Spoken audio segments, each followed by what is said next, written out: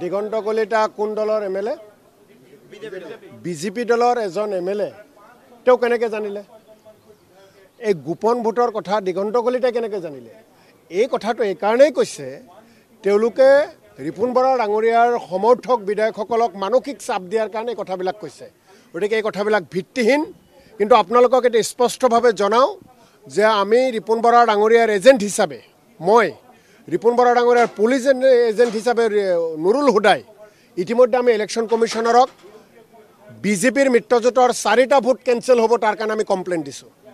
কাৰণ নিৰ্দিষ্ট পাৰ্টীৰ বাহিৰে পাৰ্টীৰ এজেণ্টৰ বাহিৰে কাকো ভোট দেখাব নোৱাৰে।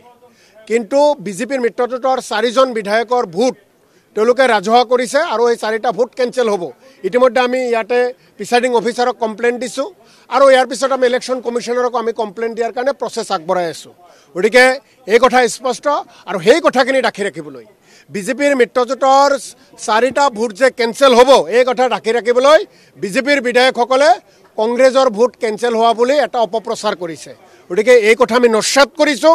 কংগ্ৰেছৰ বৰ্তমানলৈ যিকেইজনে ভোটদান কৰিছে প্ৰতিজনেই ৰিপুণ বৰাৰ পক্ষত ভোট দিছে আৰু সকলো ভোট শুদ্ধ হৈছে। গতাজ বড়োৱে এতিয়া কেনেকৈ মানি ল'ব? আমিতো ভিতৰত আছোঁ না। আমি ভিতৰত আছোঁ। আপোনালোকক এটা কথা কওঁ বিজেপি বিজেপিৰ মিত্ৰজোঁটৰ বহুকেইজন বিধায়কে ভোট দিছে। আমি মাত্ৰ চাৰিজনৰ নামত কিয় কমপ্লেইন কৰিলোঁ? বেলেগ বিধায়কৰ নামত আমি কিয় কমপ্লেইন নকৰিলোঁ? অৰ্থাৎ তেওঁলোকে বিসংগতি কৰিছে ইলেকশ্যন কমিশ্যনৰ যিটো গাইডলাইন সেই গাইডলাইন তাত ফ'ল' হোৱা নাই। আৰু এইটো নিশ্চিত থাকক যেতিয়া কাউণ্টিং হ'ব গণনা যেতিয়া হ'ব এই চাৰিওটা ভোট বিজেপিয়ে নাপায় কেঞ্চেলৰ লিষ্টত যাব।